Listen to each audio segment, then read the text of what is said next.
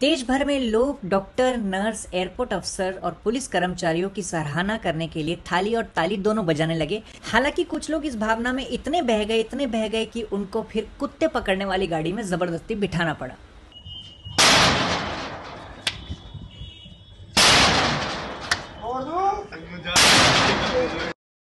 वहीं दूसरी तरफ़ टिकटॉक पे कुछ लाइक्स पाने के लिए एक युवक ने अपने सर पे थाली मारना शुरू किया। लाइक्स तो मिले नहीं, लेकिन फोड़े चौदह आए।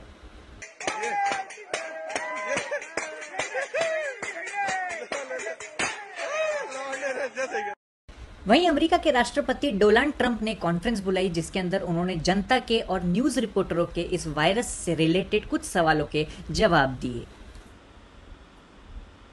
ओबामा का अलग ही रौला था यार। इधर ही खड़े होते थे। वो कोई बिल भी पास करता था लगता था यूपीएससी का एग्ज़ाम पास किया है। वो भी पहले अटेम्प्ट में। और शीतल कैसी हो? मैं हूँ घटोत्कच मैं दुनिया में सबसे निराला। मैं हूँ घटोत्कच। ओबामा ही सही था यार। सबका आने का बहुत बहुत शुक्रिया। मेरी खुद की गाड़ी रोक ली कह रहा आरसी दिखाओ। ना लिया तू अब किसी के मन में कोई सवाल है तो वो पूछ सकता है। आप पूछिए क्या पूछना है? सर ये चाइना के लोग सीधा सीधा टेंडे लौकी क्यों नहीं खाते? खाता तो मैं भी नहीं। आ, पर अगर आप मेरी माँ से पूछेंगे मेरी माँ को टेंडे बहुत पसंद थे।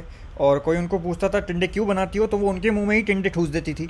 पर हम सबकी माओ को टिंडे पसंद हैं लेकिन चाइना का थोड़ा गड़बड़ है। क्यों? क्या कहता है? जी जी बिल्कुल बिल्कुल। वो क्या है चाइना और हमारी पूरी संस्कृति एकदम अलग है। वहाँ भिन्न प्रकार की चीज़ें खाई जाती हैं। जैसे हमारे यहाँ चमचम खाते हैं वहाँ चमकादड़ खा जाते हैं और हमारे यहाँ अंगूर खट्टे होते हैं लेकिन वहाँ खाने में ऊँट के टट्टे होते हैं और इसी प्रकार से बहुत सारी चीज़ें होती हैं। और मुझे लगता है जिस राइटर ने लिखा है कि मेरे मन को भाया मैं कुत्ता काट के खाया वो चाइना ही होके आया था। सर ये जो लोग अभी भी लॉकडाउन के बाद तफरी मारने बाहर घूम रहे हैं उनके लिए क्या उपाय सोचे आपने? हमने तो पुलिस कर्मचारियों को आदेश दिए हैं कि जो आवारागर्दी कर रहा है उसके पिछवाड़े का कर्व सीधा कीजिए। भले ही आप अपने डंडे को सांडे का तेल पिलाएँ या उसको रात भर भिगो के रखें। आप पूछिए। सर आजकल एक लड़का अगर खांस भी दे या छींक भी दे तो घर वाले ऐसे देखते हैं जैसे उसने जायदाद में हिस्सा मांग लिया हो। तो सर आपको क्या लगता है कि कैसे पता लगाएँ कि किसी को है कि नहीं? अ, मुझे लगता है खुजली। क्योंकि खुजली अगर आप एक बहुत बड़े ग्रुप के बीच में हैं और आप नॉन स्टॉप खुजा रहे हैं तो ये पक्का क्लियर साइन है कि आपको खुजली है। और वो तेरी नानी को होती थी ना, वो कहती थी, मेरे को खुजली हो रही है बार बार पैरों में खुजली हो रही है।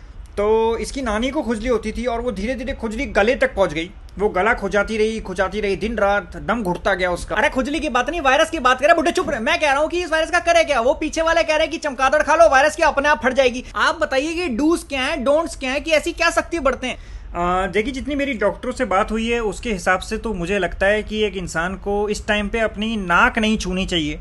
अ, क्योंकि देखिए ऐसा है जैसे इसकी नानी को बताया तेरी नानी को सर खुजाने की आदत थी वो सर खुजाते खुजाते वो खुद खुज गई। तेरे को बताया था? चाइना ने पूरी दुनिया को सिर्फ़ 36 चाइना टाउन नामक फ़िल्म वरदान में दी है बाकी सब जगह हगा है। और ये जो वायरस है, इससे बचने के लिए मैं आपसे विनती करूँगा कि एक दूसरे से दूरी बनाए रखें। एक जगह दो से ज़्यादा लोग इकट्ठे ना हो। कोई कितना भी बड़ा आदमी हो, एक साथ इतने लोग इकट्ठे ना हो। ऐसे दूरी बनाए रखें जैसे आपकी क्रश आपसे बना के रखती है।